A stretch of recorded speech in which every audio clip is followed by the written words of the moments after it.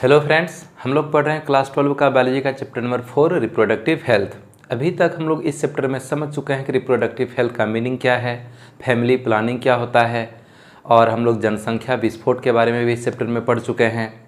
पिछली क्लास में हम लोग पढ़ रहे थे कॉन्ट्रासेप्टिव मेथड्स कॉन्ट्रासेप्टिव मेथड्स का मतलब है कि एक ऐसी विधि जिसका यूज़ करके सेक्सुअल एक्टिविटी होने के बाद भी गर्भ धारण की संभावना से बचा जा सकता है।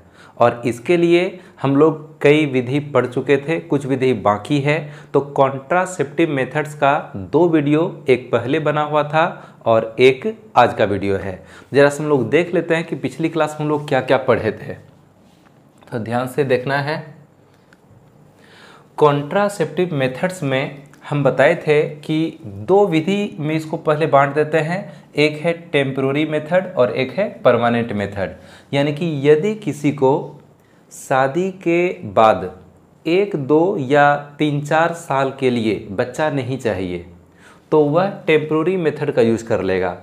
और यदि किसी का फैमिली पूरा हो गया है, जितना संतान चाहिए था उतना संतान पूरा हो गया है, अब आगे उसको संतान चाहिए ही नहीं तो वह परमानेंट मेथड का यूज़ कर लेगा, है कि नहीं? हम लोग टेम्प्रोरी मेथड में पढ़े थे कि तीन भागों में इसको बांटा गया है। एक नेचुरल मेथड एक बैरियर मेथड एक केमिकल मेथड और परमानेंट मेथड को सर्जिकल मेथड कहते हैं। तो हम लोग को टोटल जो पढ़ना है, वो चार विधि पढ़ना है नेचुरल मेथड और बैरियर मेथड तो हम लोग नेचुरल और बैरियर मेथड पिछली क्लास में पढ़ लिए थे और आज जो हम लोग पढ़ने वाले हैं, ये होगा केमिकल मेथड ज़रा सा देख लेते हैं कि नेचुरल मेथड में हम लोग क्या क्या पढ़े थे. नेचुरल मेथड में हम लोग तीन पॉइंट पढ़े थे. एक विदड्रॉल मेथड फिर पेरियोडिक एब्सटिनेंस और फिर लैक्टेशनल एमिनोरिया बारी बारी से हम लोग सब के बारे में पढ़े थे. ठीक है? फिर बैरियर मेथड में बताए थे कि कुछ बैरियर का यूज़ किया जाता है, जिसके कारण स्पर्म ओवम आपस में एक दूसरे से जुड़ नहीं सकता है। मेल के लिए मेल कॉन्डोम होता है और फीमेल के लिए बहुत कुछ है। जैसे फीमेल के लिए सर्वाइकल कैप डायफ्राम वॉल्स ये सभी होता है और इन सभी पॉइंट्स को हम लोग पिछली क्लास में डिटेल्स में पढ़ लिए थे। ठीक है?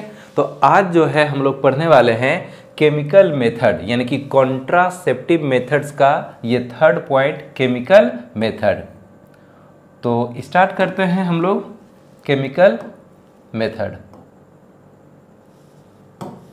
समझ रहे हैं थोड़ा ध्यान से?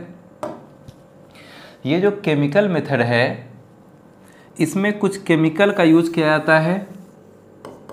इस केमिकल मेथड में कुछ केमिकल्स का यूज़ किया जाता है। खास करके महिलाओं के द्वारा। इस केमिकल मेथड्स में महिलाओं द्वारा कुछ केमिकल्स का यूज़ किया जाएगा, जिसके कारण उसमें प्रेगनेंसी की संभावना लगभग समाप्त हो जाती है। इस केमिकल मेथड को, इस केमिकल मेथड को बांट दिया गया है चार भाग में। केमिकल मेथड्स को बांट दिया गया है चार भागों में। ठीक है, हम लोग देखते हैं बारी बारी से। इस केमिकल मेथड को बांट दिया गया है चार भागों में। कौन कौन सा? तो एक है oral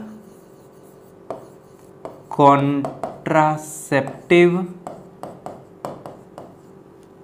pills. Oral contraceptive pills. दूसरा है इंट्रा यूटेराइन डिवाइसेस यह हम इसी को आई यू डी भी कहते हैं। ठीक है? तीसरा है इम्प्लांट्स और चौथा है इंजेक्शन हम लोग बारी बारी से सब चीज़ के बारे में पढ़ेंगे, ठीक है? हम बोले कि केमिकल मेथड में महिलाओं के द्वारा कुछ केमिकल्स का यूज़ किया जाएगा, जिसके कारण उसमें प्रेगनेंसी की संभावना लगभग समाप्त हो जाती है। इस केमिकल मेथड को बांट दिया गया चार भाग में ओरल कॉन्ट्रासेप्टिव पिल्स फिर है इंट्रा यूटेराइन डिवाइस फिर है इम्प्लांट्स और फिर है इंजेक्शन हम लोग बारी बारी से सब चीज़ को डिटेल्स में समझते हैं। तो पहला है oral contraceptive pills first point है ओरल कॉन्ट्रासेप्टिव पिल्स इस विधि में महिलाएँ कुछ टैबलेट खाती है। ओरल कॉन्ट्रासेप्टिव पिल्स को हिंदी में कहते हैं मुखीय गर्भ निरोधक गोली। यानी कि जैसे कि नाम सुने होंगे कि माला डी टैबलेट होता है, माला एन टैबलेट होता है, सहेली नाम का टैबलेट होता है। तो महिलाएँ कुछ टैबलेट का यूज़ करती है, जिसके कारण उसमें गर्भ धारण की संभावना समाप्त हो जाती है। ये जो टैबलेट है, यह हार्मोन्स का टैबलेट होता है। इस टैबलेट में हार्मोन्स पाया जाता है। तो कौन सा हार्मोन रहता है? तो यहाँ पर लिखा हुआ है, हर पॉइंट को ठीक से समझ लेना है। यहाँ पर लिखा हुआ है कॉम्बिनेशन ऑफ़ प्रोजेस्टोजेन या फिर प्रोजेस्टोजेन एंड इस्ट्रोजेन ये प्रोजेस्ट्रोजेन क्या होता है?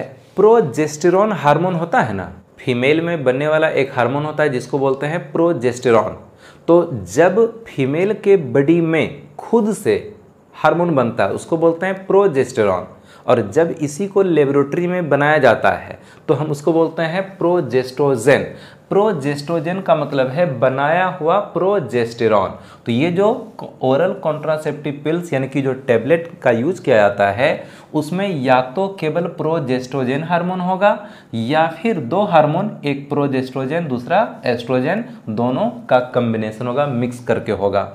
ये जो टैबलेट है ये आ, करता क्या है? तो यह शरीर में फीमेल बॉडी में low level of L H and F S H को उत्पन्न करेगा। यानी कि एल एच ल्यूटेनाइजिंग हार्मोन और F S H follicle stimulating hormone इस दोनों हार्मोन के लेवल को घटा देगा। और जैसे दोनों हार्मोन का लेवल घटता है, बस उसमें मेंस्ट्रुअल साइकिल का जो टाइमिंग है वो गड़बड़ा जाएगा, सही समय पर नहीं होगा और प्रेगनेंसी की संभावना लगभग समाप्त हो जाती है। फीमेल के बॉडी में फीमेल के बॉडी में जो एस्ट्रोजन है, प्रोजेस्ट्रॉन है, या फिर एल एच हार्मोन है, या फिर एफ़ एस एच हार्मोन है, जो कि प्रेगनेंसी को मेंटेन करता है, इस हार्मोन का फीमेल बॉडी में एक खास मात्रा का होना ज़रूरी है। और जब जब ये प्रोजेस्ट्रोजेन या फिर प्रोजेस्ट्रोजेन और फिर एस्ट्रोजेन ये दोनों हार्मोन का कम्बिनेशन वाला टैबलेट महिलाएँ खाती है तो उसके शरीर में हार्मोन का संतुलन गड़बड़ा जाता है। एक तो हार्मोन का संतुलन गड़बड़ा जाएगा और इस इस हार्मोन की वजह से उसके शरीर में एल एच और एफ़ एस दोनों हार्मोन का लेवल भी घट जाएगा और इस कारण से उसमें प्रेगनेंसी की संभावना लगभग समाप्त हो जाती है। ये जो टैबलेट है, ये दो प्रकार का होता है। कुछ टैबलेट है जिसको डेली यूज़ किया जाता है और कुछ टैबलेट है जिसको कि सप्ताह में एक बार यूज़ करना पड़ता है। तो यूज़ डेली और यूज़ वीकली यानी कि हर रोज खाने वाला टैबलेट और सप्ताह में एक बार खाने वाला टैबलेट तो जो डेली खाने वाला टैबलेट है, वो भी दो या उससे ज़्यादा भी प्रकार का हो सकता है। एक है माला डी और एक है माला एन। ये टैबलेट का नाम है। माला डी नाम का टेबलेट और माला एन नाम का टेबलेट होता है। और इसको डेली खाया जाता है। फीमेल्स के द्वारा इस टेबलेट को डेली खाया जाता है, जिसके कारण उसमें प्रेगनेंसी की संभावना समाप्त हो जाती है। वहीं सप्ताह में खाने वाला जो टेबलेट है, वो उसका नाम है सहेली। तो सहेली नाम का टेबलेट जिसको पर सप्ताह जो है वन पीस खाया जाता है, और इसके खाने से भी प्रेगनेंसी की संभावना लगभग समाप्त हो जाती है। हम लोग थोड़ा इसको और डिटेल्स में समझते हैं। ये जो माला डी और माला एन नाम का टेबलेट है, जो कि पर डे खाने वाला टेबलेट होता है। इसको खाने का तरीका क्या होता है? ज़रा से इसको ध्यान से समझना है। अगर माला डी या माला एन टेबलेट का एक पत्ता लिया जाता है, माला डी या माला एन टेबलेट का एक पत्ता लिया जाएगा तो ये टेबलेट का पत्ता भी दो टाइप का मिलता है। कुछ पत्ता मिलेगा ऐसा जिसमें कि 21 टेबलेट रहेगा और कुछ पत्ता ऐसा मिलेगा जिसमें कि 28 टेबलेट रहेगा। तो यदि 21 टेबलेट है तो पहले उसको खाने का विधि बताते हैं और फिर यदि 28 टेबलेट है तो उसको भी खाने का विधि हम बताते हैं। यदि 21 टेबलेट है, यदि 21 टेबलेट है तो उसको मेंस्ट्रुअल साइकिल जो मेंस्ट्रुअल साइकिल में जो मेंस्ट्रुएशन का जो टाइमिंग होता है, यानी कि फ़र्स्ट डे से लगभग फोर्थ या फिर फिफ्थ डे तक पीरियड ब्लीडिंग होता है, उसी दिन में से, यानी कि पहला दिन से पाँचवा दिन में से किसी दिन स्टार्ट करना है टेबलेट खाना। पर डे वन टेबलेट खाना है और लगातार 21 दिन तक खाना है। 28 दिन का पीरियड होता है 21 दिन तक टेबलेट को खाना, जैसे कि मान लिया कि फ़र्स्ट दिन, यानी कि जैसे ब्लीडिंग स्टार्ट हुआ तो जैसे ब्लीडिंग स्टार्ट होगा, उसी दिन से एक टेबलेट खाना शुरू कर दिया जाए। तो रेगुलर एक टेबलेट खाना पड़ेगा और लगातार 21 दिन तक टेबलेट को खाना है। 21 दिन में एक पत्ता पूरा खत्म हो गया। अब सात दिन का गेप ले लेना है, यानी कि सात दिन तक कोई दवाई खाना नहीं है। और फिर जब सात दिन बीत जाएगा, यानी कि 21 और सात अट्ठाईस दिन हो गया, और 28 दिन हो जाएगा तो एक मेंस्ट्रुअल पीरियड एक पूरा हो गया, और फिर नेक्स्ट पीरियड जैसे स्टार्ट होगा तो फिर से टेबलेट खाना शुरू कर देना है। यानी कि अगर 21 टेबलेट है तो मेंस्ट्रुअल साइकिल का जो फ़र्स्ट डे है, वहाँ से स्टार्ट करना है, लगातार 21 दिन तक खाना है, उसके बाद सात दिन का गेप दे देना है और नेक्स्ट पीरियड जैसे स्टार्ट होगा तो फिर से अगले पत्ता का टेबलेट खाना शुरू कर देना है। तो फ़र्स्ट दिन एक टेबलेट खाना है, फिर उसके बाद फिर अगला टेबलेट और इस तरह से इक्कीस टेबलेट लगातार पर डे खाते जाना है। फिर सात दिन का गेप दे देना है। तो ये तरीका होता है खाने का। या फिर एक और तरीका, अगर 21 टेबलेट है तो इसको खाने का एक और तरीका है। जैसे पीरियड स्टार्ट हुआ, ये पीरियड जब तक रहेगा, चार या पाँच दिन तक पीरियड रहता है। तो मान लिया कि पाँच दिन तक पीरियड रहता है तो टेबलेट को पाँचवा दिन भी खाना शुरू किया जा सकता है। पहला से चौथा दिन तक छोड़ करके, यानी कि जो ब्लीडिंग का टाइम होता है, उसमें से किसी भी दिन से स्टार्ट किया जा सकता है।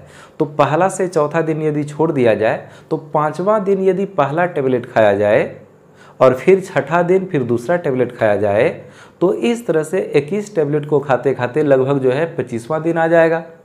तो उसके बाद 25 दिन हो जाएगा, यानी कि ये 21 टेबलेट ख़त्म हो गया और उसके बाद फिर सात दिन का गेप ले लेना है। और फिर जब अगला पीरियड स्टार्ट होगा तो फिर अगले पीरियड के पाँचवें दिन से फिर से टेबलेट खाते रहना है। तो एक तरीका ये होता है। अब यदि टेबलेट के पत्ते में 28 टेबलेट है तो ऐसा भी होता है कि 28 टेबलेट रहेगा। तो 28 टेबलेट में से जो हार्मोन कंटेनिंग टेबलेट होता है, वो एक्चुअल में 21 ही होता है। और बाकी जो सात टेबलेट होता है, वो एक तरह से फॉल्स टेबलेट होता है, जिसमें कि कोई हार्मोन पाया नहीं जाता है। तो उसमें कुछ मिनरल्स हो सकता है, उसमें शुगर हो सकता है तो फिर बात है कि जब हार्मोन कंटेनिंग टैबलेट उसमें मात्र 21 है तो ये सात एक्स्ट्रा टैबलेट देने का क्या ज़रूरी पड़ गया? तो सात एक्स्ट्रा टैबलेट इसलिए दे दिया जाता है ताकि फीमेल का पर डे टैबलेट खाने का एक आदत बना रहे। जैसे कि यदि 21 टैबलेट है तो 21 टैबलेट में से पहला दिन से स्टार्ट करके 21वां दिन तक तो एक एक टैबलेट खाते चले गए। और फिर जो है 21वां दिन के बाद फिर टैबलेट को एक सप्ताह के लिए खाना बंद कर दिया जाएगा। लेकिन एक सप्ताह पूरा हो गया और अगला पीरियड भी स्टार्ट हो गया। लेकिन इस बीच में चूँकि छूट जाता है टैबलेट खाना तो हो सकता है कि फीमेल टैबलेट खाने के लिए भूल जाए कि कौन दिन खाना है, कौन दिन छोड़ना है। तो इसलिए कंपनी वालों ने क्या किया कि इक्कीस टैबलेट ना दे करके उसको 28 टैबलेट दे दिया गया कि अब एक भी दिन टैबलेट खाना छोड़ना नहीं है। पर डे एक टैबलेट खाना ही है। तो उसमें से 21 टैबलेट जो होता है शुरू का उसमें हार्मोन पाया जाएगा और वही इफ़ेक्टिव टैबलेट होता है। और बाकी जो सात टैबलेट रहेगा, वो एक तरह से फॉल्स टैबलेट है। उसमें कोई भी हार्मोन नहीं है। उसमें शुगर हो सकता है, मिनरल्स हो सकता है, लेकिन उसमें हार्मोन नहीं पाया जाता है और ये एक्चुअल में कॉन्ट्रासेप्टिव मेथड्स के अंतर्गत आता भी नहीं है। जो शुरू का इक्कीस टैबलेट है, वही कॉन्ट्रासेप्टिव मेथड्स के अंतर्गत आता है। तो 21 टैबलेट वाला भी पत्ता मिलता है 28 टैबलेट वाला भी पत्ता मिलता है, और दोनों को किस तरह से खाना रहता है बता दिए। ज़रा सा देख लेते हैं, और यहाँ पर क्या क्या लिखा गया है? माला डी और माला एन के बारे में लिखा गया है कि regular 21 days from menstruation then seven days gap यानी कि अगर 21 टैबलेट है तो मेंस्ट्रुअल साइकिल के शुरुआती 21 दिन तक पर डे एक टैबलेट खाना है और फिर सात दिन का फिर गेप ले लेना है। और ये टैबलेट काम किस तरह से करता है इसके बारे में थोड़ा सा जान लेना है। ये टैबलेट जो है वर्किंग इस टैबलेट का वर्किंग क्या रहता है? Control ovulation and implantation ovulation हम लोग समझते हैं ना? ओवरी से ओभम का निकलना कहलाता है ओव्यूलेशन। तो ये टैबलेट जब खाया जाता है तो ओव्यूलेशन कंट्रोल हो जाएगा। ओव्यूलेशन कम होगा। ओव्यूलेशन ऐसा नहीं है कि ओव्यूलेशन टाइम पर हो ही जाएगा। ओव्यूलेशन कंट्रोल होगा और अगर कभी ओव्यूलेशन होता है ओव्यूलेशन हो भी सकता है तो ओव्यूलेशन जब होगा और अगर फर्टिलाइजेशन भी हो गया तो फर्टिलाइजेशन होने के बाद जो इम्प्लांटेशन होता है, यानी कि ब्लास्टोसिस्ट वाला जो इम्ब्रायो है, वह इंडोमेट्रियम से चिपकता है ना तो उसको बोलते हैं इम्प्लांटेशन अगर ओव्यूलेशन हो गया फर्टिलाइजेशन हो गया तो ये टेबलेट इम्प्लांटेशन को रोक देगा। और फिर क्या करता है? सर्विक्स म्यूकस थिक थिक यानी कि उसको ज़्यादा मोटा कर देता है। सर्विक्स म्यूकस हम किसको बोलते हैं? सर्विक्स होता है ना, यूट्रस का जो निचला पार्ट है उसको बोलते हैं सर्विक्स। तो सर्विक्स में कुछ गाढ़ा गाढ़ा पदार्थ पाया जाता है।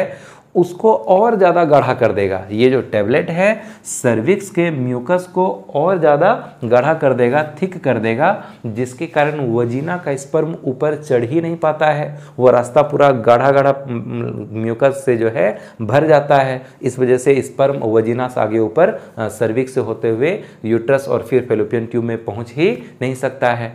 या फिर पहुँचने का चांस थोड़ा कम हो जाता है। तो यह जो टेबलेट है, ये कंट्रोल ओव्यूलेशन और इम्प्लांटेशन दोनों को कंट्रोल करेगा और सर्विक्स म्यूकस को थिक करेगा। इसके बाद जो सप्ताह में टेबलेट खाया जाता है, वो है सहेली नाम का टेबलेट तो सहेली नाम के टेबलेट को बनाया गया था C D R I Lucknow में। ये सी डी आर आई क्या है? तो central drug research institute Lucknow में मौजूद है। सीडीआरआई का फुल फॉर्म है। सेंट्रल ड्रग रिसर्च इंस्टीट्यूट, ये कहाँ पर है? लखनऊ में है। तो इसी संस्था में सहेली नाम के टेबलेट का निर्माण किया गया था। और सहेली नाम का टेबलेट साप्ताहिक टेबलेट है। सप्ताह में एक बार खाया जाता है। लेकिन जब डॉक्टर किसी फीमेल को सहेली टेबलेट खाने का सलाह देता है तो कहा जाता है कि शुरुआती तीन महीना तक शुरुआती तीन महीना तक सप्ताह में सहेली का दो टेबलेट खाना है। शुरुआती तीन महीना तक सप्ताह में दो टेबलेट खाना है और जब तीन महीना पूरा हो जाएगा तो फिर पर सप्ताह एक टेबलेट खाना है। तो यहाँ पर लिखा हुआ है twice a week for first three month यानी कि शुरुआती तीन महीना तक इस टेबलेट को, यानी कि एक सप्ताह में दो पीस खाना है। और तीन महीना पूरा होने के बाद हर सप्ताह एक टेबलेट खाना है। तो ये सब फीमेल्स द्वारा यूज़ किया जाने वाला टैबलेट है और इस टैबलेट में हार्मोन पाया जाता है, जिसके कारण उस फीमेल में प्रेगनेंसी की संभावना समाप्त हो जाती है और इसी मेथड को हम कहते हैं ओरल कॉन्ट्रासेप्टिव पिल्स मुखीय गर्भ निरोधक गोली। तो उम्मीद है कि ये पॉइंट समझ में आ गया होगा। आगे बढ़ते हैं। अब अगला है इंट्रा यूटेराइन डिवाइसेस या फिर इसको बोलते हैं आईयूडी हिंदी में कहते हैं अंत गर्भाशयी युक्ति। अंत गर्भाशयी युक्ति। अब क्या क्या लिखा हुआ है, सब चीज़ समझ में आ जाएगा। इस फिगर में हम देख रहे हैं कि ये फीमेल रिप्रोडक्टिव सिस्टम का एक पार्ट है, यहाँ पर ये यूट्रस है, और इस यूट्रस में कॉपर टी लगा हुआ है। इस यूट्रस में एक टी शेप का, इस यूट्रस में एक टी शेप का एक डिवाइस यहाँ पर सेट कर दिया गया है। इसको हम कहते हैं कॉपर टी कॉपर टी का नाम सुने हैं? कॉपर टी का नाम सुने होंगे कि फीमेल्स कॉपर टी का यूज़ करती है, जिसके कारण उसमें गर्भधारण की संभावना समाप्त हो जाती है। और कॉपर टी का यूज़ अपने देश में काफ़ी ज़्यादा यूज़ होता है इसका, और जिसको एक लंबे समय तक संतान नहीं चाहिए, या फिर दो बच्चों के बीच एक लंबे समय का अंतराल चाहिए, उसके लिए ये कॉपर टी मेथड काफ़ी ज़्यादा इम्पोर्टेंट होता है। तो कॉपर टी को हम लोग थोड़ा डिटेल्स में समझ लेते हैं, एक इमेज देखते हैं, ये सब हम पढ़ करके भी बताएँगे। यहाँ पर हाथ से बना हुआ एक इमेज है, इसको थोड़ा ध्यान से समझना है। ये फीमेल रिप्रोडक्टिव सिस्टम का एक फिगर है। और इसमें यहाँ यूट्रस है। यूट्रस के अंदर एक टी शेप का डिवाइस सेट कर दिया गया है, जिसको हम कहते हैं कॉपर टी ये कहलाता है, ये कहलाता है, यही है कॉपर टी ठीक है? तो कॉपर टी जो है, ये प्लास्टिक या मेटल का बना हो सकता है और इसके ऊपर कॉपर का वायर लिपटा हुआ रहता है। टी सेप का एक डिवाइस है, जिसके ऊपर कॉपर का वायर लिपटा हुआ रहता है।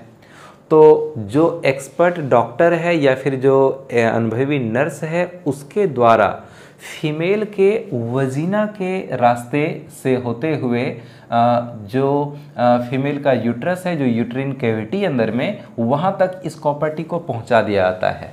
कॉपर टी को डॉक्टर या अनुभवी नर्स के द्वारा फीमेल के वजीना के रास्ते पहुँचा दिया जाता है यूट्रस के अंदर। अब ये जो कॉपर टी है इस कॉपर टी के वर्किंग को हम लोग ज़रूर समझेंगे। अभी इस फिगर में हम देख रहे हैं कि कॉपर टी से दो टेल लाइक स्ट्रक्चर दो धागा जैसा स्ट्रक्चर यहाँ पर निकला हुआ है और ये जो धागा जैसा स्ट्रक्चर है, ये वजीना तक आ गया है। ये जो धागा जैसा स्ट्रक्चर है, ये वजीना तक आ गया है। तो इस धागे का क्या यूज़ है? इसको ज़रा समझते हैं। ये धागा इसलिए लगाया गया है और वजीना तक इस धागे को इसलिए पहुँचाया गया है ताकि जिस फीमेल में इस कॉपर टी का यूज़ हुआ है, वह फीमेल अपने अंगुली के माध्यम से वजीना में इस धागे को महसूस कर सके। यानी कि जो फीमेल अपने यूट्रस में कॉपर टी सेट करवाई है वह अपने अंगुली को वजीना में डालेगी और अंगुली से इस धागे को छू करके देखेगी कि ये धागा है या नहीं है। यदि ये धागा है मतलब कॉपर टी सही सलामत यहाँ पर है। कभी कभी क्या होता है कि कॉपर टी तो सेट कर दिया गया। कभी कभी ऐसा होगा कि कॉपर टी ऑटोमेटिक यूट्रस से बाहर निकल जाएगा, वजीना से बाहर निकल करके गिर जाता है। कॉपर टी कोई बहुत बड़ा स्ट्रक्चर नहीं होता है। कॉपर टी एक छोटा सा स्ट्रक्चर है, जैसे माचिस का तीली होता है तो माचिस के तीली से थोड़ा सा बड़ा होता है। हालाँकि ये जो यूट्रस है, इस फिगर में यूट्रस जो इतना बड़ा बनाए हुए हैं फीमेल का यूट्रस भी इतना बड़ा होता नहीं है। यूट्रस भी छोटा होता है कॉपर टी का भी साइज़ बहुत ही छोटा होता है। तो लगभग इसी साइज़ का कॉपर टी होता है। और ये जो कॉपर टी है कभी कभी क्या होता है सेट करने के बाद भी इस वजीना के रास्ते गिर जाता है, निकल जाता है। तो जब निकल जाएगा तो फिर ये धागा भी नहीं रहेगा। और अगर धागा महसूस किया जाता है मतलब कि यहाँ पर कॉपर्टी सही सलामत है। और अगर धागा यहाँ महसूस ना हो, अगर फीमेल को यहाँ पर धागा का पता नहीं चले तो फिर इसका मतलब ये है कि या तो कॉपर्टी यहाँ से गिर चुका है, या फिर कभी कभी ऐसा होता है कि ये कॉपर्टी इंडोमेट्रियम में धस जाता है। कभी कभी ये कॉपर्टी इंडोमेट्रियम में धस जाता है, जिसके कारण ये धागा अंदर खींचा जाता है। जब अंदर चला जाएगा, जब अंदर चला जाएगा तो फीमेल को अपने उंगली के माध्यम से इस धागा, ये धागा महसूस नहीं होगा और फिर उसको फिर डॉक्टर के पास जाना पड़ेगा। तो इसीलिए ये धागा लगाया गया है। तो जब कॉपर टी को फीमेल के यूट्रस में सेट कर दिया जाता है तो इसका वर्किंग कुछ इस तरह का रहेगा कि ये प्रेगनेंसी की संभावना को समाप्त कर देता है। मार्केट में कुछ ऐसा कॉपर्टी है जिसको एक बार अगर सेट कर लिया जाए तो वह तीन साल तक लगातार प्रेगनेंसी को ख़त्म कर देगा। कुछ ऐसा भी कॉपर्टी है जिसको यूज़ करने के बाद पाँच साल तक प्रेगनेंसी रुक जाएगा। कुछ ऐसा भी कॉपर्टी है जिसका यूज़ करने के बाद दस दस साल तक भी प्रेगनेंसी की संभावना समाप्त हो जाती है। तो जिसको एक लंबे समय के लिए बच्चा नहीं चाहिए, या फिर दो बच्चों के बीच एक लंबा टाइम का अंतर चाहिए उसको डॉक्टर सजेस्ट करता है कॉपर टी, और अपने देश में कॉपर टी काफ़ी ज़्यादा यूज़ किया जाता है। तो थोड़ा सा पीछे देख लेते हैं। तो ये जो कॉपर टी है, ये यूट्रस के अंदर सेट किया जाने वाला एक डिवाइस है, और कॉपर टी के ही समान कई डिवाइस है। जैसे कॉपर टी हम लोग नाम सुनते हैं कि कॉपर टी होता है, फीमेल यूज़ करती है। तो कॉपर टी के जैसा और भी कई प्रकार का डिवाइस है जो कि कॉपर टी से ही काफ़ी ज़्यादा मिलता जुलता रहता है और इन सभी का यूज़ बर्थ कंट्रोल के लिए किया जाता है। तो यहाँ पर देखते हैं क्या लिखा हुआ है कि इंट्रा यूटेराइन डिवाइसेस या फिर आईयूडी जो है, ये यूट्रस के अंदर सेट किया जाने वाला कुछ डिवाइस होता है जिसके कारण कि बर्थ कंट्रोल हो जाएगा। इंसर्टेड बाय डॉक्टर्स और expert nurses in the uterus through vagina यानी कि डॉक्टर या फिर एक्सपर्ट नर्स के द्वारा इसे वजीना के माध्यम से फीमेल के यूट्रस में सेट कर दिया जाता है। यहाँ पर है टाइप्स ऑफ़ आईयूडी यानी इंट्रा यूटेरिन डिवाइस जो है कितने प्रकार का होता है? तो तीन टाइप का होता है। जैसे कि कॉपर टी के बारे में बोले ना तो कॉपर टी के जैसा और भी कई प्रकार का डिवाइस है, जिसका यूज़ यूट्रस के अंदर किया जाता है।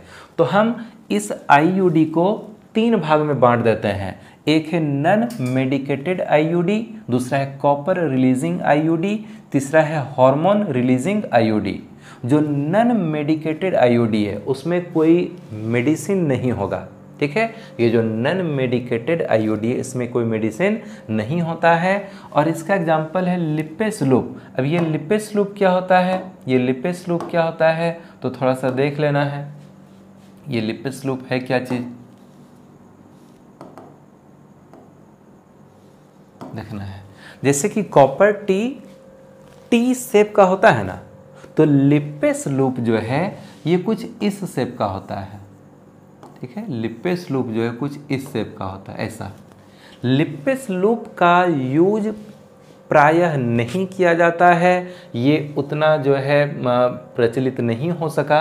तो लिपेस लूप का यूज़ लगभग लगभग नहीं के बराबर होता है। लेकिन कि हम लोग जब पढ़ रहे हैं तो हम लोग सब चीज़ पढ़ेंगे।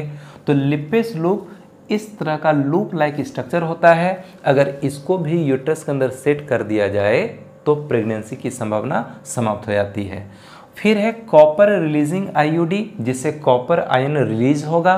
तो इसका एग्जांपल है, एक हो गया कॉपर टी एक हो गया कॉपर सेवन एक हो गया मल्टी लोड 375 अब ये कॉपर टी जो है, ये कैसा होता है? तो ये तो टी सेप का होता है।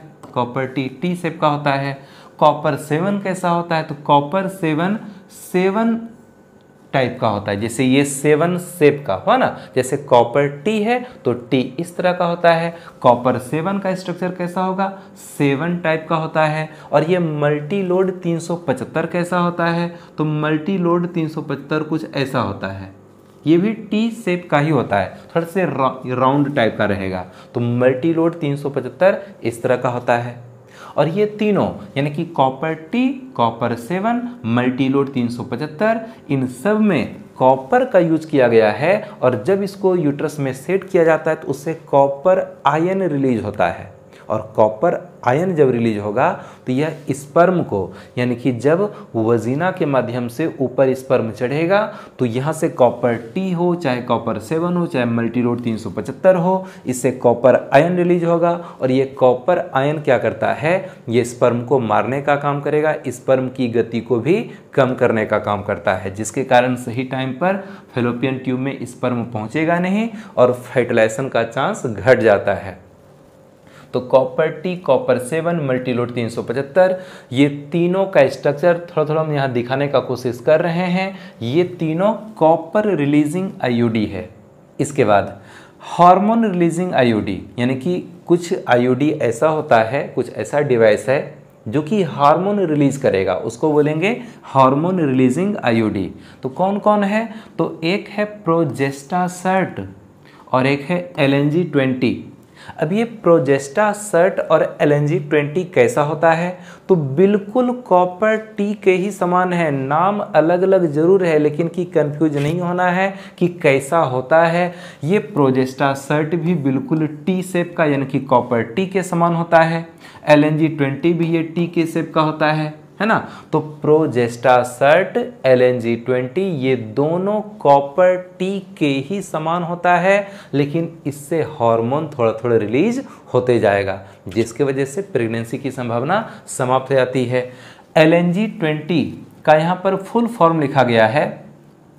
Levonorgestrel 20 L N G twenty का फुल फॉर्म है लेवोनोरजेस्ट्रिल 20 तो ये progestasert L N G twenty ये दोनों हार्मोन रिलीजिंग आईयूडी है।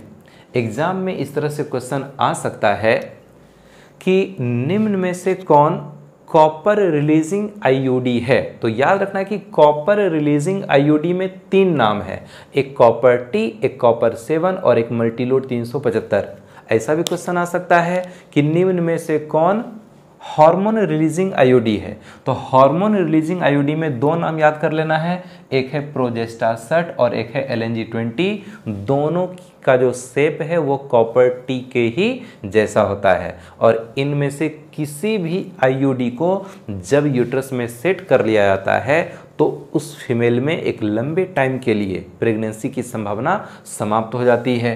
तो यहाँ पर वर्किंग का कुछ तरीका हम देख लेते हैं कि किस तरह से ये वर्क करेगा। हम देख रहे हैं यहाँ वर्किंग में कि जब इस डिवाइस का यूज़ किया जाएगा तो फिर क्या होगा? फेगोसाइटोसिस ऑफ़ स्पर्म ये ऊपर तीर देने का मतलब है कि इंक्रीज हो गया, बढ़ गया।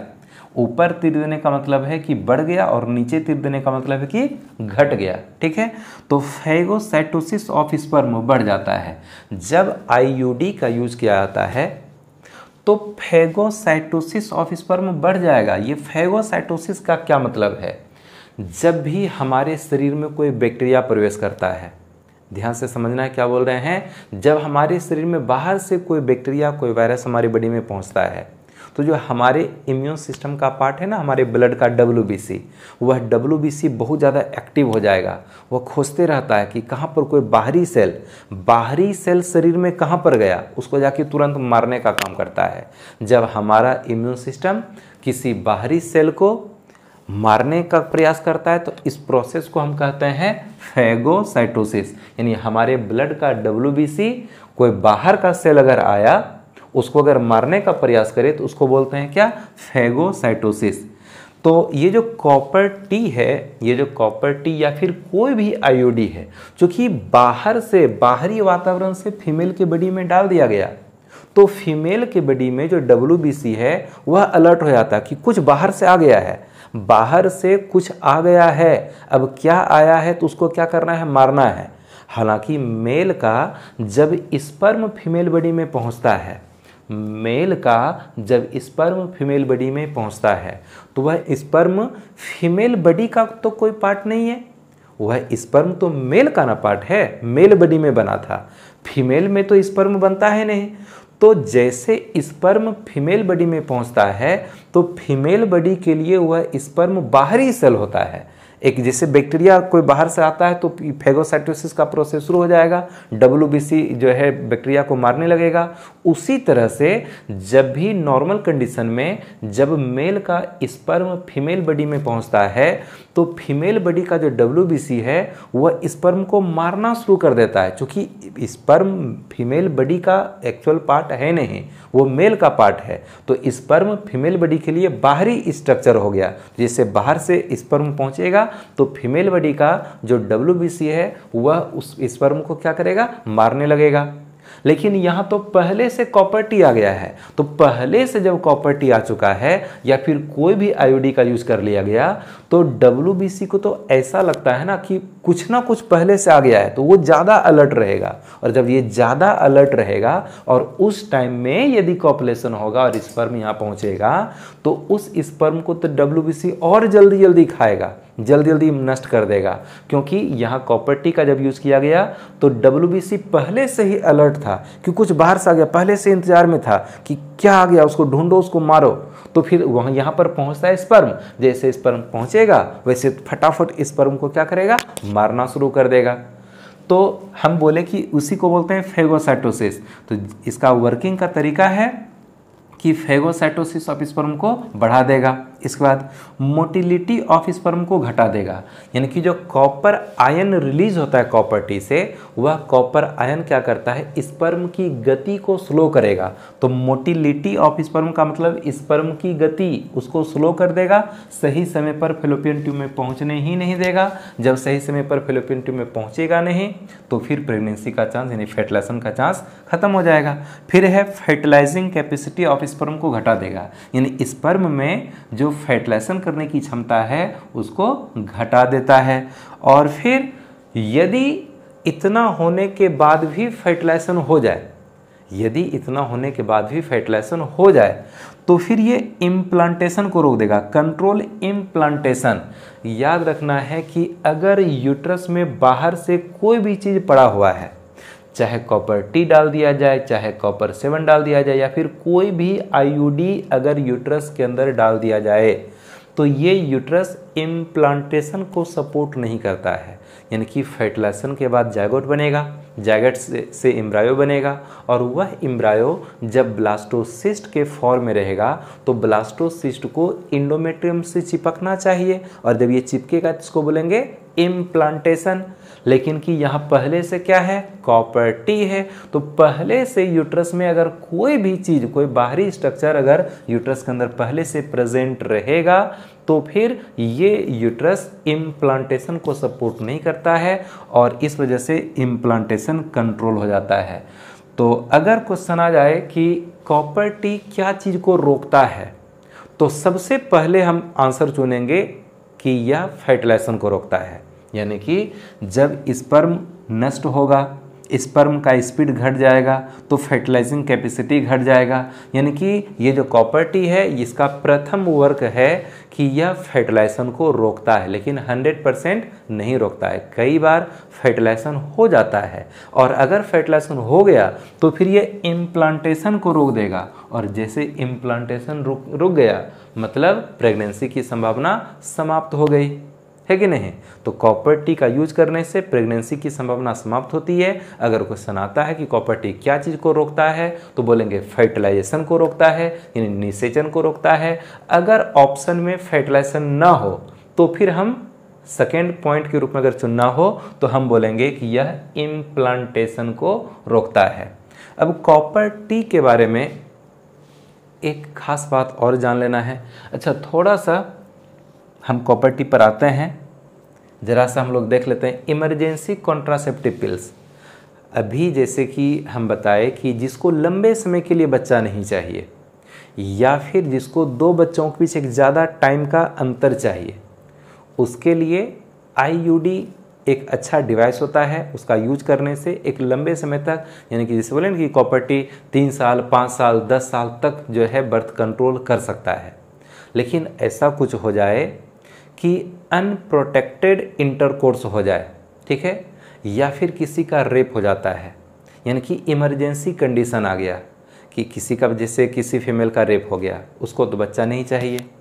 या फिर कोई अनप्रोटेक्टेड इंटरकोर्स हो गया बिना कॉन्डोम का यूज़ किए हुए, या और कोई डिवाइस का बिना यूज़ किए हुए जो है इंटरकोर्स हो गया कॉपुलेशन हो गया तो उस कंडीशन में प्रेगनेंसी की संभावना तो रहती है। तो प्रेगनेंसी की संभावना को समाप्त करने के लिए क्या है?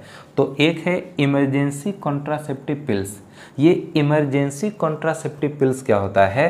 तो एक टेबलेट मार्केट में मिलता है, जिसका नाम है अनवांटेड 72 टैबलेट अनवांटेड 72 टैबलेट जैसे कि अगर कॉपुलेशन होता है अनप्रोटेक्टेड कॉपुलेशन हुआ। कंडोम का यूज़ नहीं किया गया या किसी और मेथड का यूज़ नहीं किया गया। अब वहाँ पर प्रेगनेंसी का संभावना है, लेकिन प्रेग्नेंट होना नहीं है प्रेगनेंसी की संभावना को समाप्त करना है। तो उसके लिए एक टैबलेट मिलता है, जिसको बोलते हैं अनवांटेड 72 टैबलेट और इस टैबलेट को कॉपुलेशन के बाद बहत्तर घंटा के अंदर खाना होता है। बस एक टेबलेट खा लिया जाए, यानी कि जब कॉपुलेशन हुआ था, उसके बहत्तर घंटा बाद तक जो है, यानी कि लगभग तीन दिन के अंदर अंदर एक टेबलेट खा लिया जाए, बहत्तर घंटा के अंदर खा लिया जाए, जिसको बोलते हैं अनवांटेड सेवेंटी टू टेबलेट और इसको खाने से जो प्रेगनेंसी की संभावना हो सकती थी, वो संभावना समाप्त हो जाती है। यदि यदि अनप्रोटेक्टेड इंटरकोर्स हुआ, या फिर किसी का रेप हो गया, वहाँ पर जो है प्रेगनेंसी का चांस है तो उस प्रेगनेंसी के संभावना को समाप्त करने के लिए एक तरीका तो हो गया अनवांटेड 72 टैबलेट का यूज़ कर लिया जाए, बहत्तर घंटा के अंदर अंदर। या फिर एक और तरीका होता है कि कॉपर टी का यूज़ कर लिया जाए, या फिर आईयूडी का यूज़ कर लिया जाए, जैसे कि सेक्सुअल एक्टिविटी हुआ। अब या उसको बच्चा नहीं चाहिए तो या तो वह अनवांटेड 72 टैबलेट खा ले, या फिर अपने यूट्रस के अंदर कॉपर टी सेट करवा ले या फिर कोई भी आईयूडी सेट करवा ले तो ऐसा करने पर उसमें प्रेगनेंसी की संभावना समाप्त हो जाती है। ये बात समझ में आया? अब बात है कि कॉपर टी या फिर किसी भी आईयूडी का अगर यूज़ किया जाता है तो क्या उस फीमेल में ब्लीडिंग होता है? मेंस्ट्रुअल साइकिल संपन्न होगा। अगर कॉपर्टी वगैरह सब का यूज़ किया जाता है तो मेंस्ट्रुअल साइकिल होता है। मेंस्ट्रुअल साइकिल थोड़ा कंट्रोल होगा, लेकिन ऐसा नहीं कि बिल्कुल कंट्रोल हो जाएगा। मेंस्ट्रुअल साइकिल बिल्कुल होगा, ठीक है? और कभी कभी जैसे कि हम बोलते हैं कि कॉपर टी का यूज़ किया जाता है प्रेगनेंसी की संभावना को समाप्त करने के लिए। तो कभी कभी ऐसा होता है कि कॉपर टी का यूज़ करने के बाद भी फर्टिलाइजेशन होगा और फर्टिलाइजेशन के बाद इम्प्लांटेशन भी हो जाता है। लेकिन कॉपर टी यदि लगा हुआ है अगर कॉपर टी का यूज़ कर लिया गया है और उसके बाद भी यदि कभी कभी इम्प्लांटेशन हो जाए कॉन्ट्रासेप्टिव का जो जितना भी मेथड है, सभी मेथड का फेल्योर होने का चांस रहता है। जितना भी मेथड हम लोग पढ़े, जैसे हम लोग नेचुरल मेथड मेथड पढ़े तो नेचुरल मेथड को तो फेल्योर होने फेल्योर होने का पूरा चांस रहता है। इसके बाद हम लोग बैरियर मेथड पढ़े तो बैरियर मेथड भी 100 परसेंट सिक्योर नहीं है। जैसे कि हम लोग पढ़े कि मेल कॉन्डोम का यूज़ होता है तो कभी कभी मेल कॉन्डोम फट भी जाता है और फिर वजीना में सीमेंट डिस्चार्ज हो जाएगा, उसके वजह से फिर प्रेगनेंसी का चांस बन जाएगा, है ना? तो जैसे कि हम लोग सर्वाइकल कैप पढ़े थे, हम लोग डायफ्राम पढ़े थे, वॉल्ट्स के बारे में पढ़े थे सब का फेल्योर रेट होता है। उसी तरह से ये कॉपर टी का भी फेल्योर रेट होता है, कॉपर टी भी फेल कर सकता है। तो जैसे कि बोलते हैं कि कॉपर टी को रोकता है। अगर फर्टिलाइजेशन हो जाए तो इम्प्लांटेशन को रोकेगा। लेकिन कि कॉपर टी के रहते हुए कभी कभी इम्प्लांटेशन भी हो जाता है। और यदि कॉपर टी के रहते हुए इम्प्लांटेशन हो गया कॉपर टी के रहते हुए यदि इम्प्लांटेशन हो गया तो वह बच्चा निश्चित रूप से कुछ समय के बाद मर जाएगा वह बच्चा कॉपर टी के रहते रहते यहाँ पर विकसित नहीं हो सकेगा। जैसे कि कॉपर टी है और इम्प्लांटेशन हो गया। अब फीमेल का मन हो गया कि हम इस बच्चे को जन्म देना चाहते हैं। हम इस बच्चे को जन्म देना चाहते हैं। तो फीमेल को ये कॉपर टी निकलवाना पड़ेगा। क्योंकि कॉपर टी रहेगा तो बच्चा का डेवलपमेंट यहाँ पे सही से होगा नहीं। और जब वो डॉक्टर के पास जाएगी, बोलेगी कॉपर टी मेरा निकाल दीजिए, क्योंकि हम इस बच्चे को जन्म देना चाहते हैं। तो जैसे ही डॉक्टर कॉपर्टी को निकालेगा, वैसे उसका बच्चा भी नष्ट हो जाएगा। कॉपर्टी को जैसे निकाला जाएगा, वैसे उसका बच्चा भी नष्ट हो जाएगा, है ना? तो बच्चा तो नष्ट हो ही जाएगा। लेकिन कॉपर्टी का यदि यूज़ किया गया और कभी अगर इम्प्लांटेशन हो भी गया तो भी उस बच्चे को नष्ट होना तय है, ठीक है? लेकिन कभी कभी क्या होता है कि कॉपर टी का यूज़ करने के बाद भी जब इम्प्लांटेशन हो जाता है तो बच्चा ठीक ठाक तरीका से विकसित हो जाएगा। कभी कभी रेयर केस ऐसा होता है रेयर केस में ऐसा होता है कि कॉपर टी का यूज़ करने के बाद भी इम्प्लांटेशन होने के बाद बच्चा यहाँ पर ठीक ठाक तरीके से विकसित हो जाता है और जब नाइन मंथ के बाद बच्चे का जन्म होता है तो जन्म के साथ साथ ये कॉपर टी भी बाहर आ जाएगा और एक जीवित बच्चे का जन्म हो जाता है। तो शायद ही ऐसा होता है। तो फेल्योर रेट तो इसका भी है। यानी कि जितना भी अभी तक हम लोग विधि पढ़ रहे हैं सब का फेल्योर रेट होता है, कोई भी पूरा पूरी सिक्योर मेथड नहीं है। तो उम्मीद है कि ये इंट्रा यूटेराइन डिवाइसेस समझ में आ गया होगा। ठीक है? हम लोग इमरजेंसी कॉन्ट्रासेप्टिव पिल्स भी पढ़ लिए और ये स्ट्रक्चर भी देख लिए। इसके बाद है इम्प्लांट्स और इंजेक्शन ये इम्प्लांट्स और इंजेक्शन जो है ये इसमें भी हार्मोन ही पाया जाता है।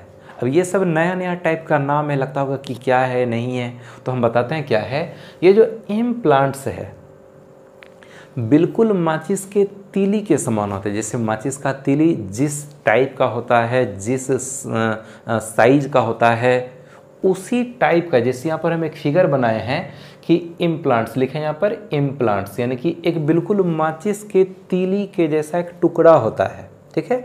माचिस के तीली के समान ही एक टुकड़ा होता है। हम इसी को कहते हैं इम्प्लांट्स और इसके अंदर में हार्मोन पाया जाता है।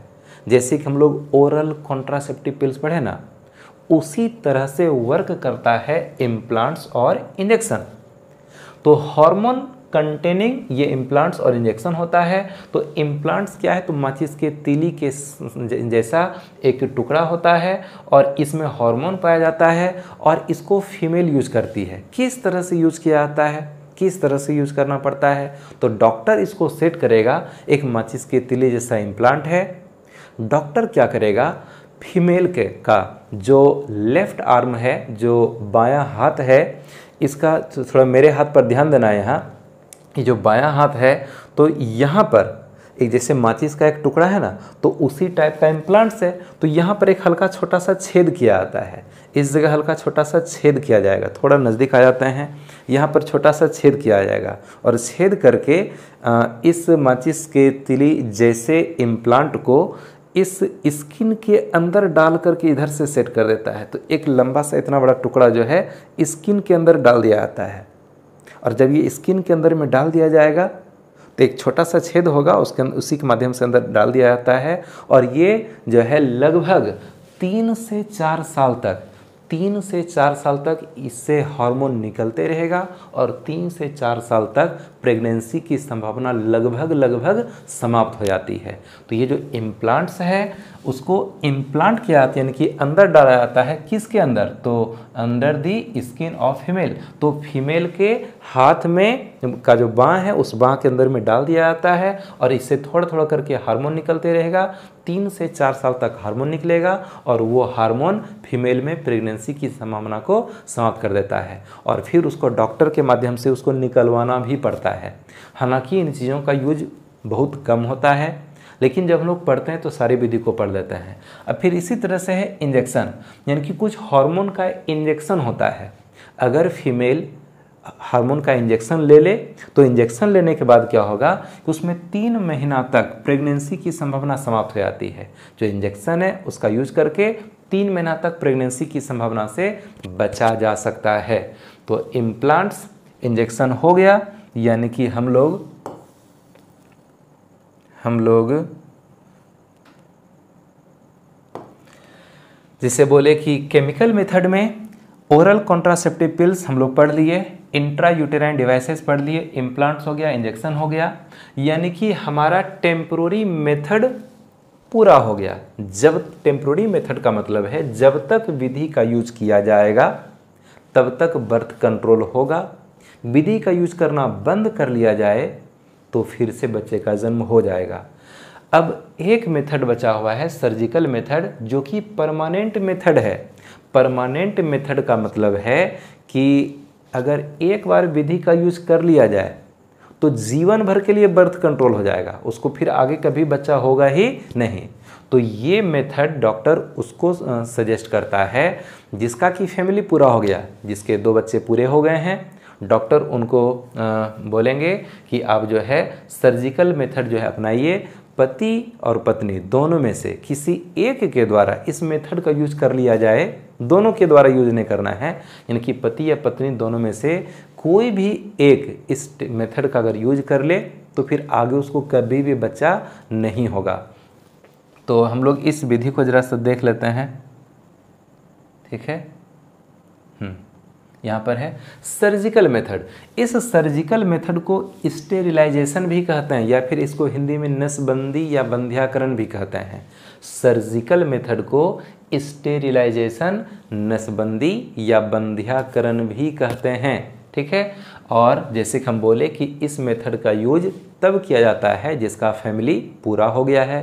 अब उसको आगे कोई बच्चा चाहिए ही नहीं, उसके लिए ये टेक्निक का यूज़ किया जाता है।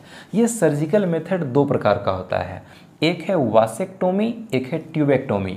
वासेक्टोमी को हम पुरुष नसबंदी कहते हैं और ट्यूबेक्टोमी को हम महिला बंध्याकरण कहते हैं। वासेक्टोमी को पुरुष नसबंदी कहेंगे और ट्यूबेक्टोमी को महिला बंध्याकरण कहेंगे। तो जैसे हम बोले कि पति और पत्नी, दोनों में से कोई एक एक पार्टनर इस मेथड का यूज़ कर ले जीवन भर बर्थ कंट्रोल हो जाएगा। या तो पति इस मेथड का यूज़ कर ले, या फिर पत्नी मेथड का यूज़ कर ले। दोनों को मेथड यूज़ करने का कोई ज़रूरी नहीं है। एक से भी काम चल जाता है। अब ये वासेक्टोमी, यानी पुरुष नसबंदी में होता क्या है? इस फिगर को देखना है। ये मेल रिप्रोडक्टिव सिस्टम का फिगर है। जैसे कि हम यहाँ पर देख रहे हैं कि ये टेस्टिस है। ये टेस्टिस है। टेस्टिस में क्या बनता है? स्पर्म बनता है। टेस्टिस में बना हुआ स्पर्म कहाँ जाएगा? एपिडिडमिस में।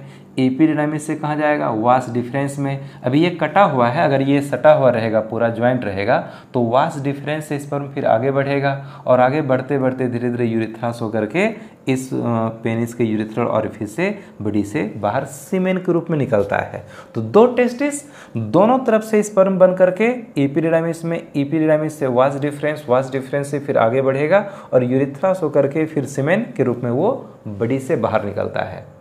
तो ये जो वासेक्टोमी है, इस वासेक्टोमी में क्या करते हैं? एक हल्का सा, छोटा सा ऑपरेशन होता है और हल्का सा ऑपरेशन करके क्या करते हैं कि मेल के दोनों वास डिफरेंस को हल्का कट कर दिया जाता है और कट करके धागे से बाँध दिया जाता है। ध्यान से समझना है कि मेल के दोनों वास डिफरेंस को एक छोटा सा ऑपरेशन होता है, जिसके माध्यम से मेल के दोनों साइड के वास डिफरेंस को कट कर दिया जाता है और उसको धागे से बाँध दिया जाता है।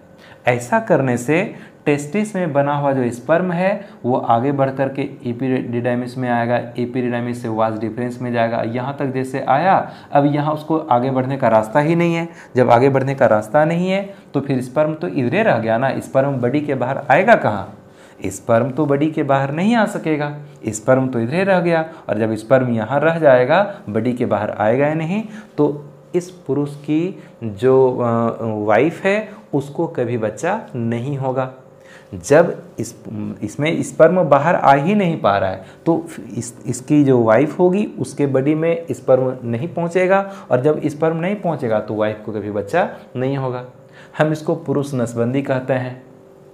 अब यहाँ पर मन में कई तरह का सवाल होता है कि जब स्पर्म आगे बढ़ेगा नहीं तो उस स्पर्म का होता क्या है? जब, क्योंकि टेस्टिस में तो स्पर्म बनते रहेगा। जब टेस्टिस में स्पर्म बनते रहेगा तो फिर वो स्पर्म जाएगा तो जाएगा कहाँ? जब रास्ता बंद हो गया तो स्पर्म जाएगा कहाँ? एक्चुअल में जब टेस्टिस में स्पर्म बनता है, वह स्पर्म धीरे धीरे निकल करके ए एपीरिडामिस में आएगा। ए एपीरिडामिस से जाएगा वास डिफरेंस में। अब वास डिफरेंस में चूँकि आगे का रास्ता बंद है तो धीरे धीरे वास डिफरेंस में कुछ समय तक रहेगा और कुछ समय तक रहने के बाद यह स्पर्म धीरे धीरे मर जाएगा, इसका फेगोसाइटोसिस हो जाएगा। यानी कि ये जो स्पर्म है, ये यहाँ पर नष्ट हो जाएगा और जब टेस्टिस का स्पर्म बॉडी के बाहर निकलता नहीं है तो टेस्टिस के अंदर में स्पर्म का प्रोडक्शन भी स्लो हो जाता है। स्पर्म बनेगा बहुत कम कम और जो भी स्पर्म बनेगा वो इतना सा ही रास्ते में गलुल करके हो जाता है ख़त्म, उसको अब्जॉर्व कर लिया जाता है, लेकिन इसके आगे स्पर्म जाता नहीं है। अब कुछ सवाल ऐसा मन में आ सकता है कि क्या इसमें सीमेन बनेगा या नहीं? तो एक्चुअल में सीमेन बनता है। मेल के पेनिस के यूरिथ्रल ऑरिफिस से सीमेन बाहर आएगा। ठीक है? ध्यान से समझ लेना क्या बोल रहे हैं। ये जो वासेक्टोमी है, वास डिफरेंस को कट करके धागे से बाँध दिया गया स्पर्म बडी से बाहर नहीं निकलेगा। लेकिन सीमेन बाहर आएगा, सीमेन में स्पर्म नहीं होगा, एक फ्लूड एक लिक्विड बाहर आएगा। जैसे कि मेल में सीमेन डिस्चार्ज होता है ना, सेक्सुअल एक्टिविटी के दौरान सीमेन का डिस्चार्ज होता है। सीमेन में कितना चीज़ रहता है? दो तरह का चीज़। Sperm plus seminal plasma. पढ़े थे ना हम लोग? सीमेन में दो चीज़ स्पर्म प्लस सेमाइनल प्लाज्मा।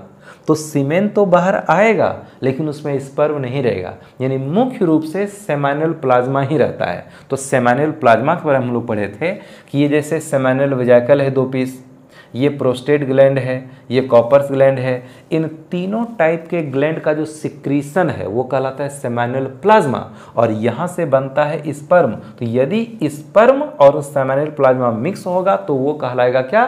सीमेन लेकिन जब यहाँ पर ये वास डिफरेंस को कट करके धागे से बाँध दिया गया तो फिर ये स्पर्म तो बॉडी से बाहर आएगा नहीं, लेकिन कि सेक्सुअल एक्टिविटी के दौरान ये जो सेमाइनल वजाइकल है, ये प्रोस्टेट ग्लैंड है, ये कॉपर्स ग्लैंड है तीनों से सिक्रीसन निकलता है और वह एक सीमेन के रूप में बाहर आएगा। हालाँकि इस सीमेन में स्पर्म नहीं होगा तो सेक्सुअल एक्टिविटी में किसी प्रकार का कोई रुकावट नहीं आता है। ऐसा नहीं है कि ये वासेक्टोमी कराने के बाद सेक्सुअल एक्टिविटी नहीं हो पाएगा या फिर पेनिस का इरेक्शन नहीं हो पाएगा। ऐसी कोई बात नहीं है। सेक्सुअल एक्टिविटी निश्चित रूप से होती है, पेनिस का इरेक्शन भी होता है, सीमेन भी बाहर आता है। बस अंतर बस इतना सा है कि उस सीमेन में स्पर्म नहीं रहेगा और जब स्पर्म नहीं रहेगा तो इसकी वाइफ को संतान नहीं हो पाएगा। ठीक है? फिर है ट्यूबेक्टोमी। ये जो ट्यूबेक्टोमी है, इसमें क्या करते हैं कि फीमेल, ये फीमेल के लिए होता है तो एक छोटा सा ऑपरेशन करके फीमेल के दोनों साइड के फेलोपियन ट्यूब को कट करके धागे से बाँध दिया जाता है। दोनों साइड के फेलोपियन ट्यूब को कट करके धागे से बाँध दिया जाता है। और ऐसा करने से क्या होगा? ओभरी में बना हुआ ओभम रिलीज़ होगा तो यहाँ तक पहुँचेगा। और जब वजीना में स्पर्म पहुँचेगा तो स्पर्म धीरे धीरे फिलोपिन ट्यूब के इस छोर तक पहुँचेगा। स्पर्म यहाँ रह गया, ओभम यहाँ रह गया। स्पर्म ओभम का दोनों का कनेक्शन टूट चुका है। तो जब स्पर्म ओभम दोनों का कनेक्शन टूट गया, जब स्पर्म ओभम दोनों का कनेक्शन टूट गया, जब स्पर्म स्पर्म और ओभम दोनों एक दूसरे के पास आ ही नहीं पा रहा है तो फर्टिलाइजेशन होगा क्या? नहीं हो पाएगा।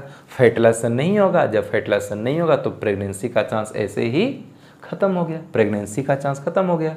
तो ट्यूबेक्टोमी में फेलोपियन ट्यूब को कट करके धागे से बाँध दिया जाता है, जिसके कारण स्पर्म ओवम एक दूसरे के कांटेक्ट में नहीं आएगा और ऐसा होने से फर्टिलाइजेशन नहीं हो पाता है प्रेगनेंसी का चांस बिल्कुल खत्म हो जाता है।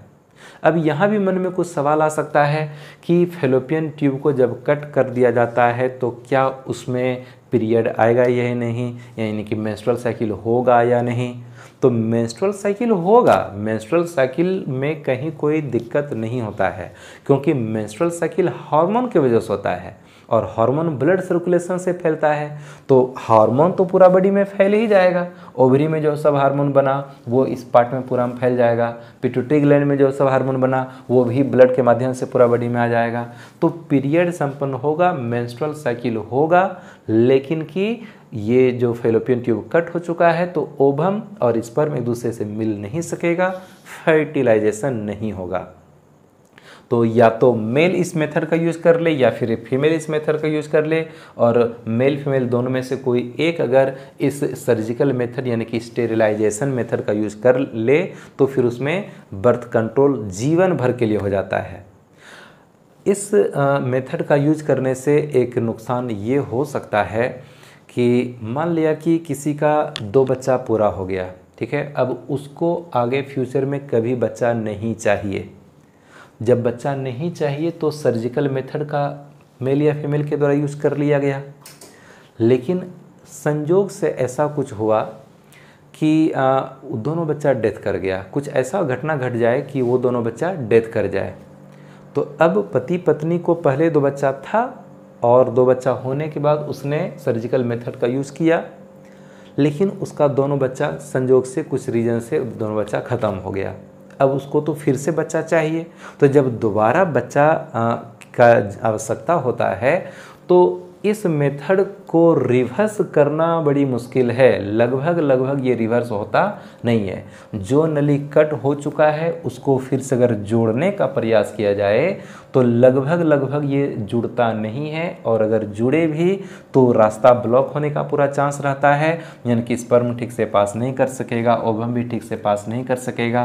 तो अगर इस मेथड का एक बार यूज़ कर लिया जाए और फिर दोबारा इसको अगर रिवर्स करने का प्रयास किया जाता है तो रिवर्सिबिलिटी का चांस यहाँ पर लगभग नहीं के बराबर रहता है। तो ये एक इससे दिक्कत है कि अगर कभी बच्चा ख़त्म हो जाए, बच्चा मर जाए तो इस मेथड को रिवर्स नहीं किया जा सकता तो फिर वहाँ दिक्कत हो जाएगा। तो उम्मीद है कि ये सर्जिकल मेथड या स्टेरिलाइजेशन समझ में आया होगा। वासेक्टोमी में किस नली को काटते हैं? वास डिफरेंस को। ट्यूबेक्टोमी में किस नली को काटते हैं? फेलोपियन ट्यूब को। ठीक है? अब यहाँ पर थोड़ा सा कुछ ऑब्जेक्टिव टाइप का क्वेश्चन है, जिसको ध्यान से समझना है। क्या क्या लिखे हैं? Most popular contraceptive methods in world अगर पूरे विश्व की बात करें तो पूरे विश्व में सबसे ज़्यादा पॉपुलर कॉन्ट्रासेप्टिव मेथड्स कौन है? तो वह है मेल कॉन्डोम यानी कि पूरे वर्ल्ड में सबसे ज़्यादा जो कॉन्ट्रासेप्टिव मेथड्स यूज़ किया जाता है वो है मेल कॉन्डोम इसके बाद most popular contraceptive methods in India अगर अपने देश में भारत में आ, सबसे ज़्यादा यूज़ किया जाने वाला जो कॉन्ट्रासेप्टिव मेथड्स है वो है कॉपर टी ठीक है? कॉपर टी अगर अपने देश की बात करें तो सबसे ज़्यादा ऐसा क्वेश्चन आ सकता है। कि अपने देश में सबसे ज़्यादा यूज़ किया जाने वाला, सबसे ज़्यादा पॉपुलर कॉन्ट्रासेप्टिव मेथड्स कौन है? तो हम बोलेंगे क्या? कॉपर टी वैसे बता दें कि जो ग्रामीण एरिया की जो फीमेल्स होती है, वो ज़्यादा करके कॉपर टी का यूज़ करती है। और जो शहरी एरिया की जो फीमेल्स होती है, वो ज़्यादा करके ओरल कॉन्ट्रासेप्टिव पिल्स वो या तो माला डी टैबलेट खाएगी, या तो माला एन टैबलेट खाएगी, या फिर सहली टैबलेट का यूज़ करती है। तो शहरी क्षेत्र में जो पॉपुलर कॉन्ट्रासेप्टिव मेथड है, वह है ओरल कॉन्ट्रासेप्टिव पिल्स और जो ग्रामीण क्षेत्र है, वहाँ पर जो ज़्यादा पॉपुलर कॉन्ट्रासेप्टिव मेथड्स है वह है कॉपर टी तो उसका रीज़न ये है और अपना जो देश है, ये गाँवों का देश है, यहाँ पर शहर से ज़्यादा गाँव है, बड़ा एरिया हो जाता है गाँव का तो वहाँ पर ज़्यादा महिलाएँ हैं तो ज़्यादा महिलाओं के द्वारा कॉपर्टी यूज़ किया जाता है, लेकिन जो शहर की महिलाएँ हैं, जो कि ज़्यादा पढ़ी लिखी होती है और उसको टैबलेट का जानकारी होता है। जब टैबलेट का जानकारी रहेगा तो वो टैबलेट का यूज़ कर लेती है।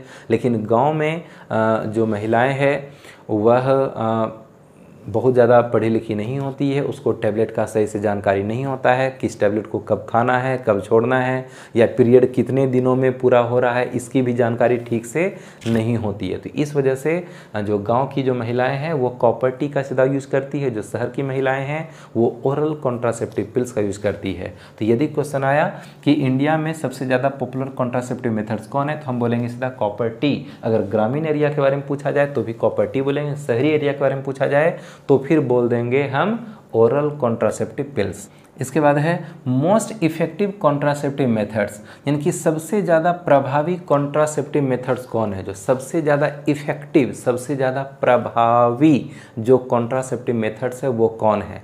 हम लोग कॉन्ट्रासेप्टिव मेथड्स चार प्रकार का पढ़े ना। जैसे सबसे पहले नेचुरल कॉन्ट्रासेप्टिव मेथड्स इसको फेल होने का काफ़ी ज़्यादा चांस रहता है। फिर पढ़े बैरियर कॉन्ट्रासेप्टिव मेथड्स तो इसको भी फेल्योर होने का चांस रहता है।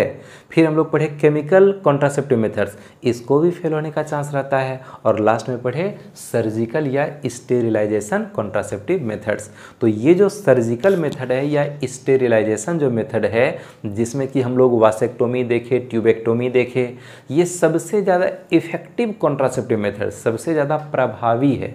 अगर इस मेथड का अगर एक बार यूज़ कर लिया जाए तो फिर कन्फर्म हो जाएँगे कि अब बच्चा होने वाला नहीं है बर्थ कंट्रोल हो गया। बाकी किसी भी मेथड का अगर यूज़ करते हैं तो उसमें प्रेगनेंसी का चांस बना रहता है। कुछ कुछ परसेंट प्रेगनेंसी का चांस बना रहेगा। लेकिन अगर एक बार सर्जिकल मेथड का यूज़ कर लिया जाए तो हम कन्फर्म हो जाते हैं कि अब प्रेगनेंसी का कोई भी चांस नहीं है।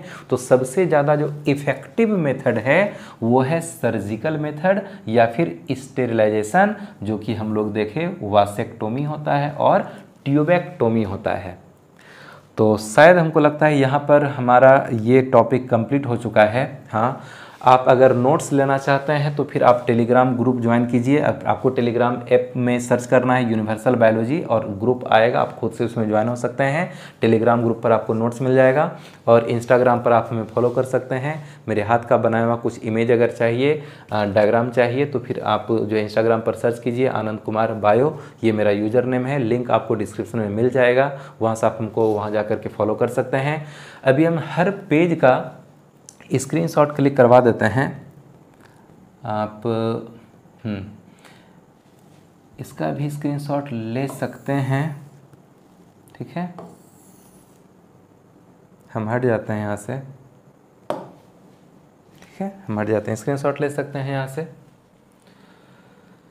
इसका भी क्लिक कीजिए। इसका भी क्लिक करना है। इसका भी क्लिक करना है। इसका भी क्लिक करना है, इसका भी क्लिक करना है, इसका भी क्लिक करना है। तो हमारा ये टॉपिक हो गया कंप्लीट और हम लोग अब अगले वीडियो में मिलने वाले हैं MTP medical termination of pregnancy के साथ, यानी कि हम लोग जानेंगे कि गेस्टेशन पीरियड पूरा होने के पहले बच्चे को किस तरह से माँ के यूट्रस के अंदर ही नष्ट कर दिया जाता है। यदि बच्चा नहीं चाहिए, कोई प्रेग्नेंट हो चुकी है तो फिर उस बच्चे को कैसे नष्ट किया जाएगा, इसका विधि हम लोग जानेंगे। और कहाँ तक ये लीगल है, कहाँ तक ये अनलीगल है, इस पर भी हम लोग चर्चा करेंगे। तो ठीक है, आज का क्लास यहाँ कंप्लीट होता है। हम लोग मिलते हैं अगले क्लास में। तब तक मन लगा करके पढ़ते रहिए। All the best